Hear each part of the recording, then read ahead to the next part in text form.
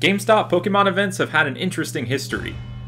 We've gone from wireless in game mystery gifts that required us to bring all of our games with us, to physical serial code scratch offs that often involved bargaining with employees in order to take home more than two, and now we've moved on to Pokemon Pass, which is an app that uses your location on your phone to receive serial codes to be used for events. Earlier this year, this app worked fine for me at Target for the Shiny Pikachu and Eevee event in Let's Go. But when I showed up to GameStop earlier, the app wasn't working at all on my phone. I was stuck on the loading screen, kind of a blue screen of death, really. And nothing I did seemed to change it.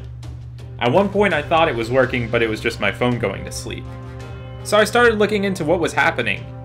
And based off of this app's reviews on the Google Play Store, this has been affecting a lot of people. But after some searching, I found a solution in the comments of a Reddit thread from someone named Dat Darn Cat, who says, load it in airplane mode and that actually worked. I managed to make it past that screen.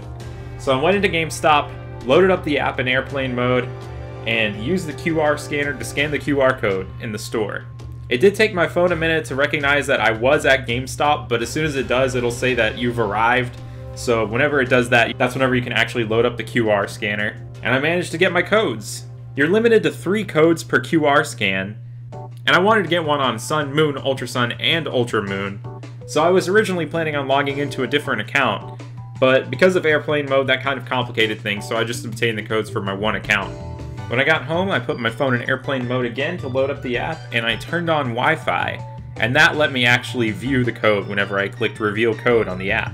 If you redeem this on Sun or Ultra Sun, you get a shiny Lunala, and if you redeem this on Moon or Ultra Moon, you get a shiny Solgaleo. Again, you get three codes per scan, so I redeemed it on three of my games. But anyway, yeah, that's how I got my shiny Solgaleo and Lunala. I hope that if you're experiencing the same sort of weird issue that I was having with the game locking up, this helped and that you're able to access it now. I hope this uh, does get resolved in the future soon. But yeah, I just figured I'd make this video real quick to hopefully help someone out trying to get their shinies. And now, I will enjoy some time with my Kool-Aid Lion. I'll see you next time. Thanks for watching.